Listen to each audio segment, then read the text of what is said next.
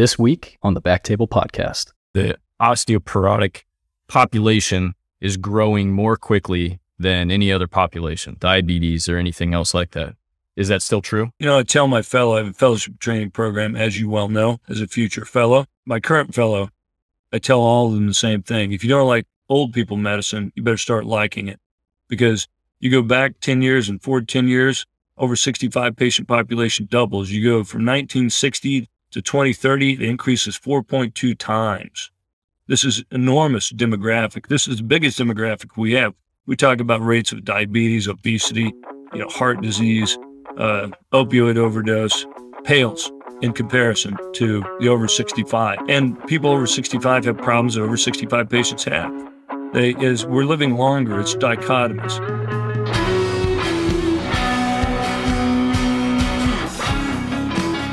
Hello, everyone, and welcome to the Backtable MSK podcast, your source for all things musculoskeletal. You can find all previous episodes of our show on Spotify, Apple Podcasts, and on backtable.com.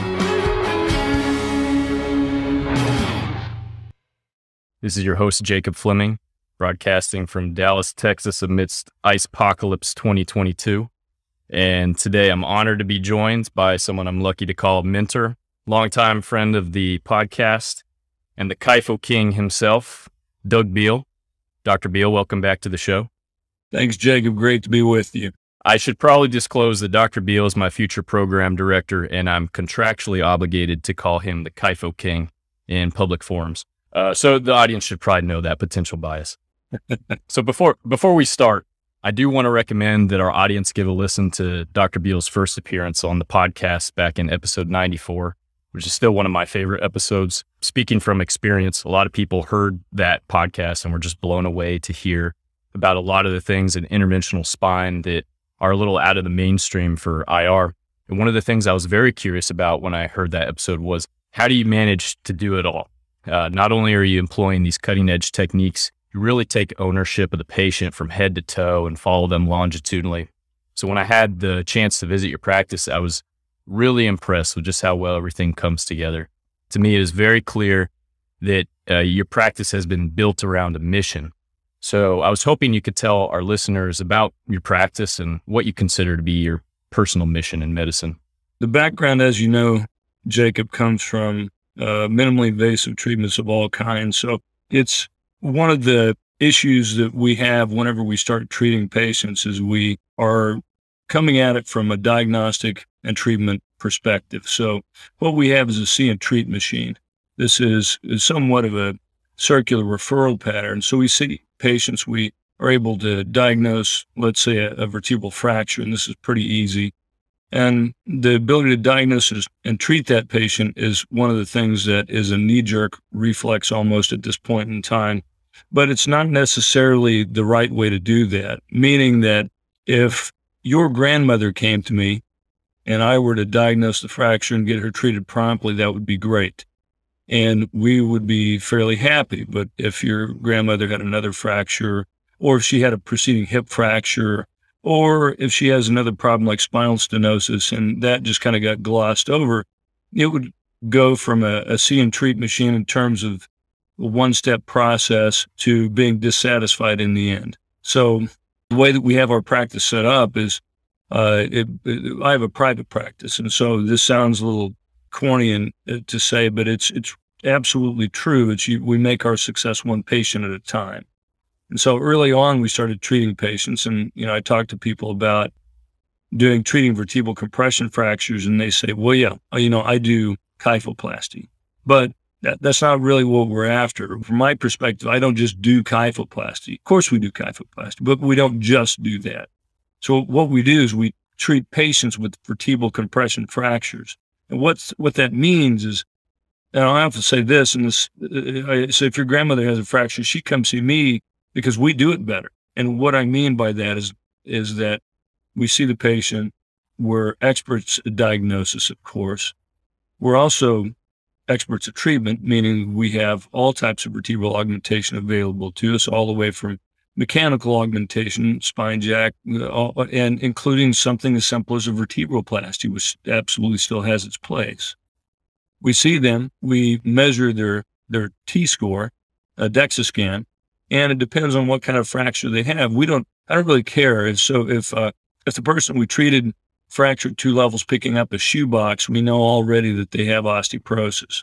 And so we, we treat them for that. We do the DEXA scan simply as a benchmark for treatment, not because we're questioning the diagnosis. Because apart from having a having multiple myeloma or a neoplastic involvement or some type of discitis in there that we're unsuspecting, it's diagnostic of osteoporosis, fragility fracture. And so we figure out exactly what their issue is, treat them to completion, and then any other ancillary issues we help them with those too. But the primary problem is solved not only from a procedural standpoint, but we treat the underlying disorder so they can do well and they pers- they persistently do well.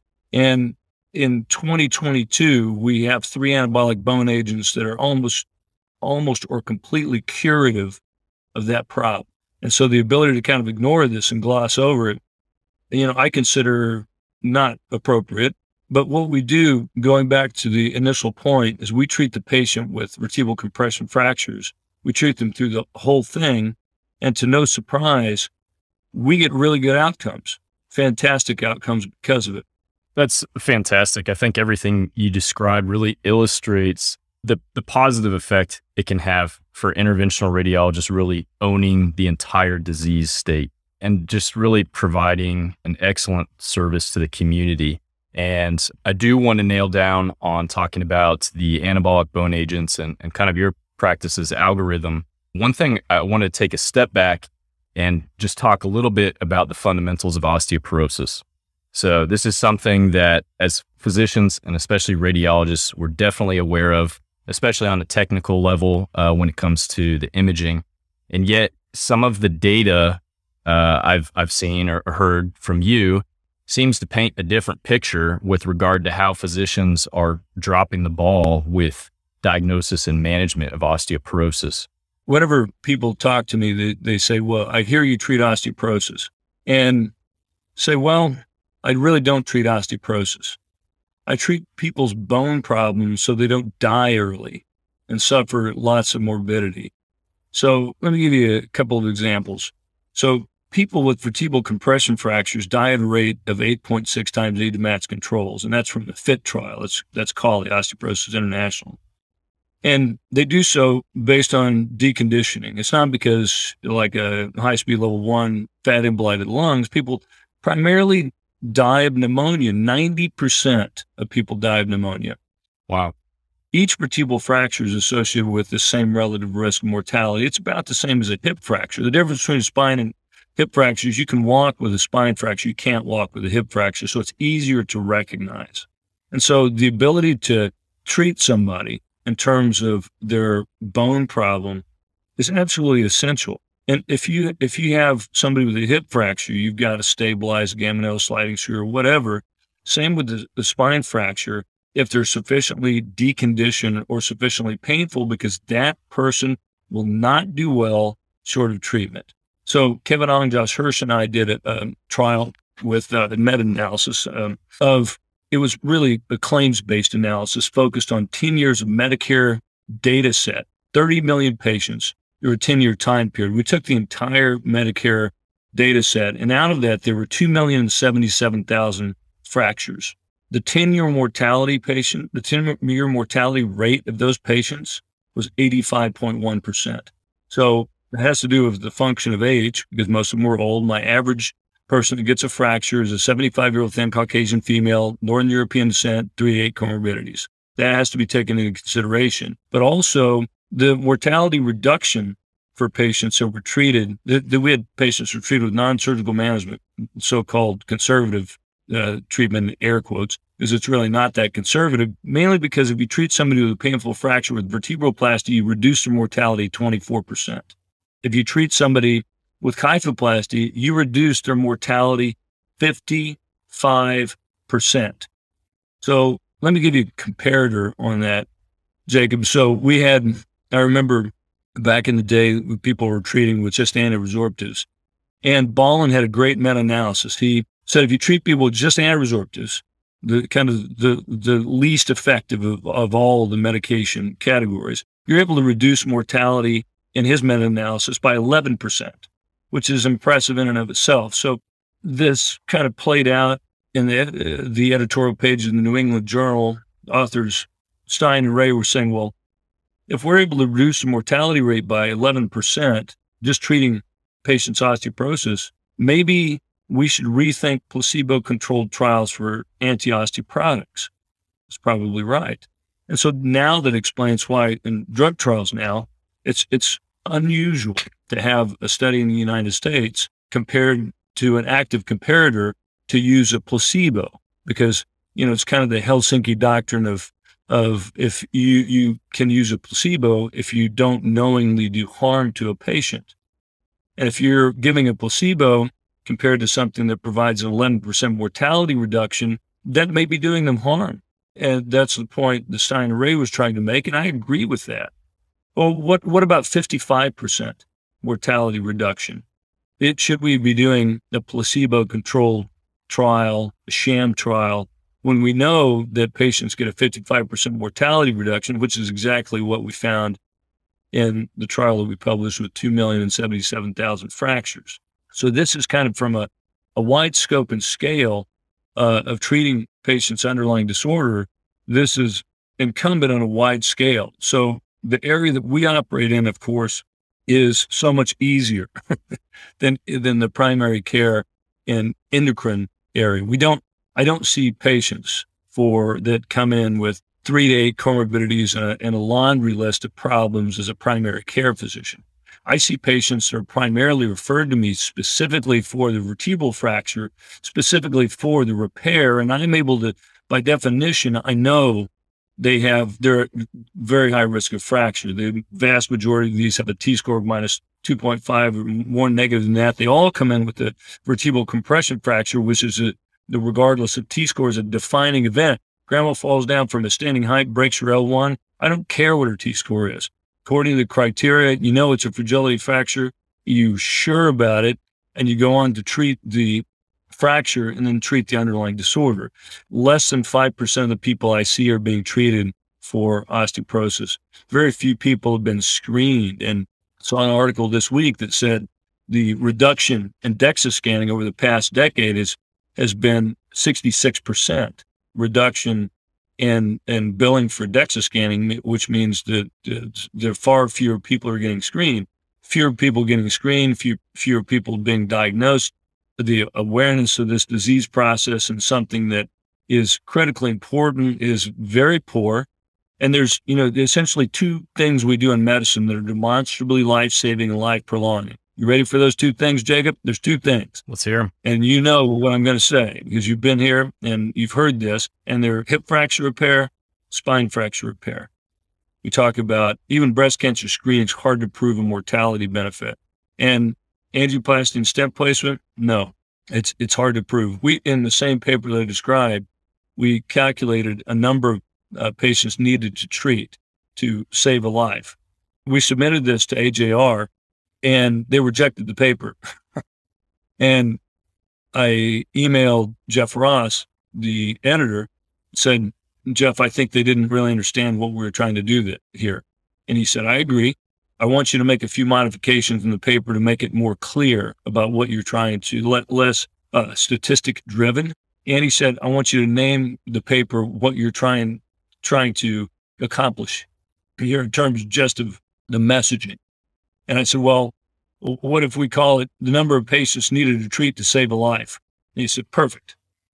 Do that. So we looked at a comparison of a male over 50 for a stroke and heart attack to ameliorate an, one aspirin a day to ameliorate symptoms of a stroke or heart attack. For a stroke, it was 3,000 patients needed to treat to ameliorate symptoms of a stroke. For a heart attack, it was 1,667 patients needed to treat an aspirin a day to ameliorate symptoms of that heart attack for the number of patients needed to treat to save somebody's life for a vertebral compression fracture, 15.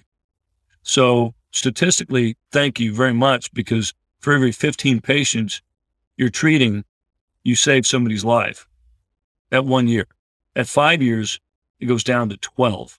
So this is one of the things we do that really is life sustaining and prolonging Av Edidin in his paper calculated the life benefit is between 2.2 and 7.3 years per patient. Why in the world would you do somebody a durable benefit like that to sustain and prolong their life and not treat the underlying disorder that produced it? If your cardiologist, your father's cardiologist, treated, gave him an angioplasty stent placement, and ignored the fact that his triglycerides were 500 or his cholesterol was 400, just blew it off. Ah, it's fine. He'll be fine. You, you would be unhappy, right? If my mother goes in, she's visiting another city and happened to have a, and, and I know this is a shocker, but my mother's a, is a, uh, then Caucasian female, Northern European descent, over the age of 75, right? And she, she fell down, broke her hip, and somebody put a gamma nail and a sliding screw or a total hip arthroplasty, depending on the type of fracture, and didn't talk to her about it, the, the fact that her T score was a minus 3.7 and she sustained that hip fracture from a fall from a standing height, I would be unhappy. But yet, this is what happens all day, every day.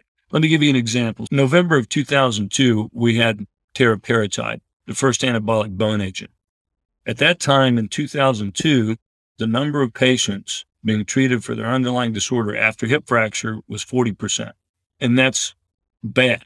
I think it should be uh, as close to 100 as we can possibly get because, as I mentioned, you know, hip fracture is easy. No, but you can't walk with it. You're, you're there, your uh, legs internal rotation foreshortened, acute pain, can't bear weight, fall from a standing height on the greater trochanter, hip snaps, no great diagnostic brilliance to understand that that's a major fragility fracture that needs to be treated, the underlying disorder. You go forward to 2011, that number goes from 40 to 20, half the number of people. I saw an article published in 2018 by Desai that says now there's 3% of people being treated for their underlying disorder.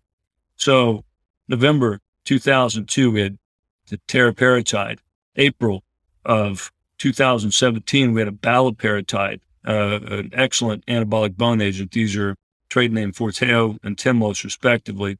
April of 2019, romosozumab. This is called Evenity, uh, three anabolic bone agents. So now, ironically, we're better equipped to treat patients than ever before, but we're not employing that at all in a condition that is easily now known, much better known, because every single paper that I've, I've quoted in terms of morbidity, mortality, and risk reduction and effectiveness of kyphoplasty and underlying treatment has been published since the advent of the first anabolic bone agent. So we didn't know. So ironically, we were doing better when we knew far less than what we know now. And we're doing far worse knowing a lot more than we did then.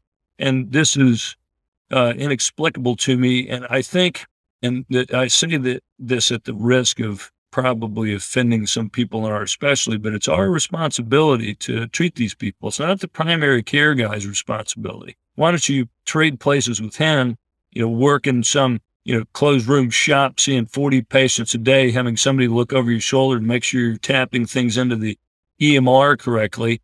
And you got a laundry list of eight problems per patient.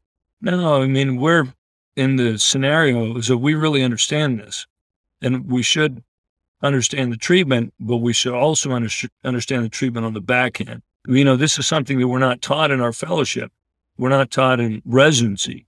We're not even taught in this in medical schools. A lot of these medications will come out after we've already completed training. All of them came out after all the anabolics after I completed training. But it turns out that, you know, smart people can learn this stuff. And if you can make it through residency and fellowship and be a successful practicing interventional radiologist, I would submit to you that it's not beyond the pale that you can learn this too. And you can, can become an expert in it because we're already an expert at treating spine fractures.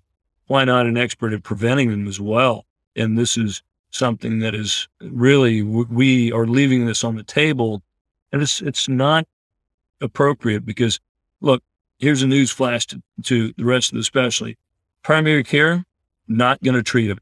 They're just not. And they're, they're not comfortable with anabolic bone agents. The average rate of reduction of additional fractures varies from, you know, 68 to 86% from teriparatide to baloparatide. So this is profound. So you can't You can't talk to patients like that. And if you're going to convince them to do an anabolic, you have to say, here's why I want you to do it. We're, we are trying to be curative about this, but I want you to do it. And so this really needs to come from the treating physician because there's, there's been work done uh, for orthopedics out of the orthopedic literature that says if the discussion about treating underlying osteoporosis comes from the treating physician, treats the fracture, there's a significantly greater uptake in adoption of this by the patient and compliance of the patient staying on the medication than if it comes from somebody else. It's it's huge uh, the the kind of gains that you're talking about there, especially for some of the reasons you alluded to earlier. Osteoporosis is such a societal burden, uh, as you illustrated earlier. The rates of diagnosis and treatment are getting worse, not better.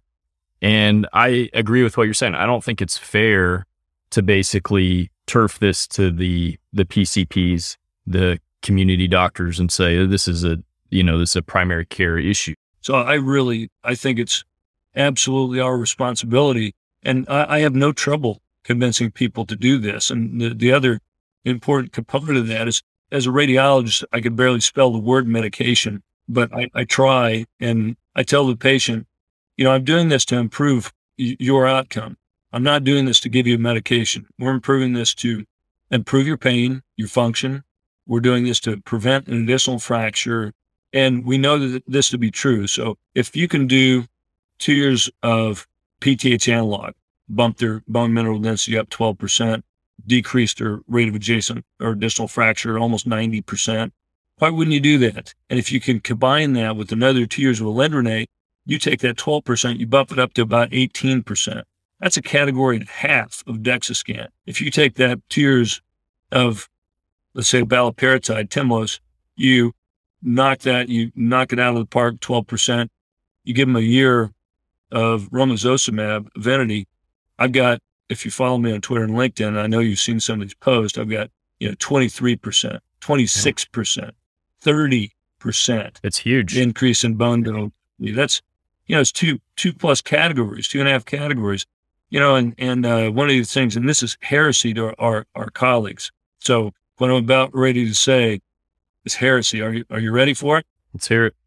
If you take the bone density and you bump it up almost 30% and the T score is normal and the patient hasn't suffered a fracture, I would say the osteoporosis has been treated and is gone.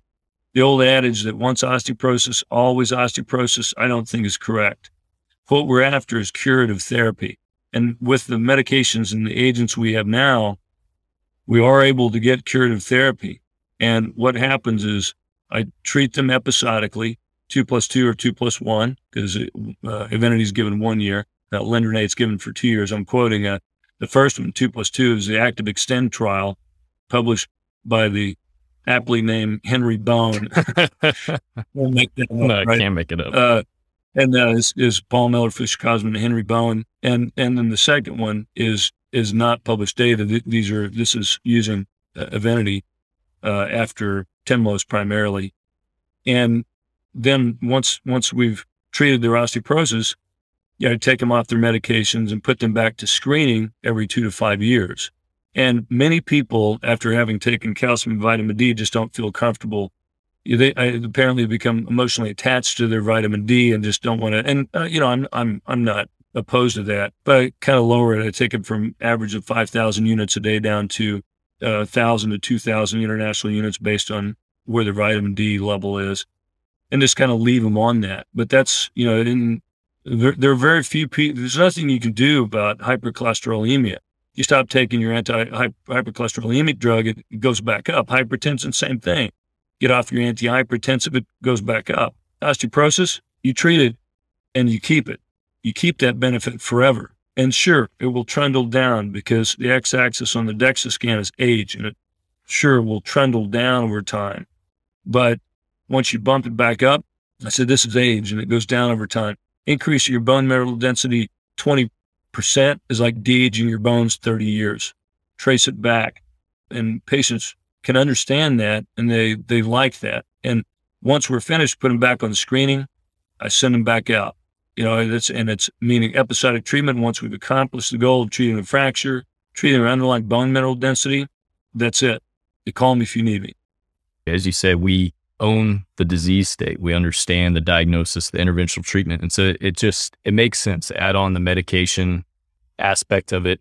It's not rocket surgery and you're, you're kind of offering the whole package. And uh, that, that's so huge, I think, especially in um, a lecture I heard from you a while ago. I think you discussed, and I'm, I'm curious if this is still the case. I think it probably is that the osteoporotic population is growing more quickly than any other population, diabetes or anything else like that.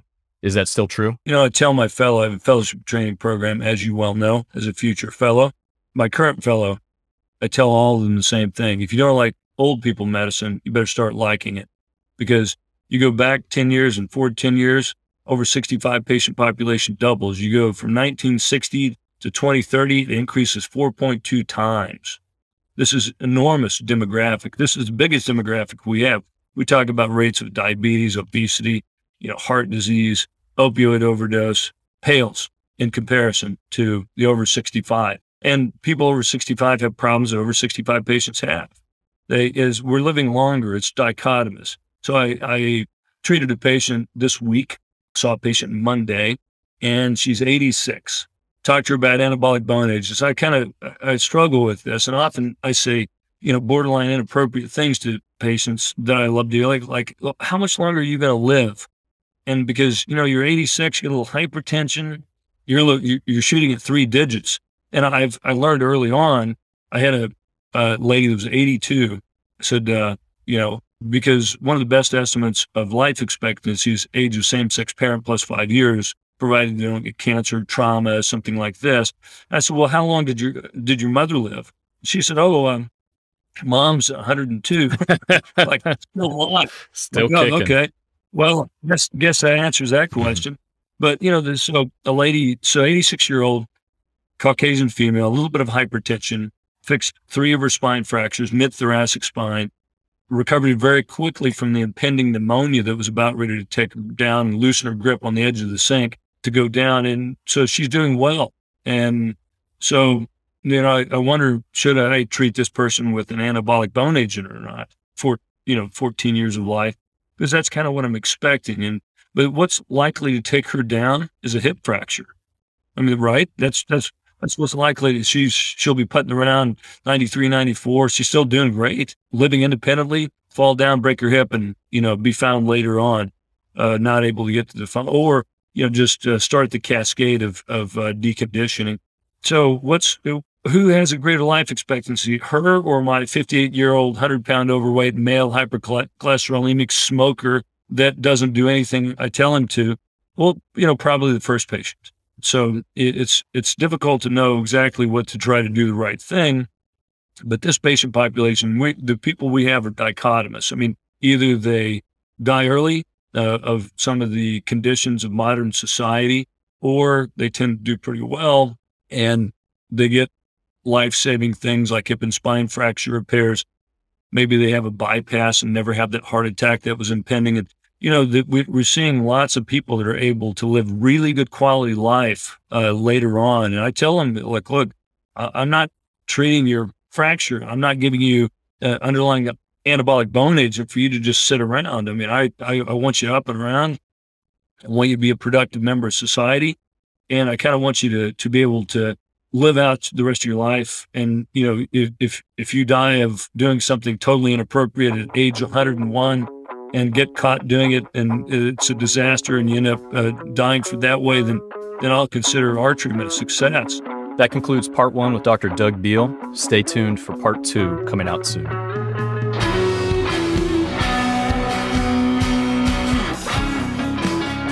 Thank you so much for listening. If you haven't already, make sure to subscribe, rate the podcast five stars, and share with a friend.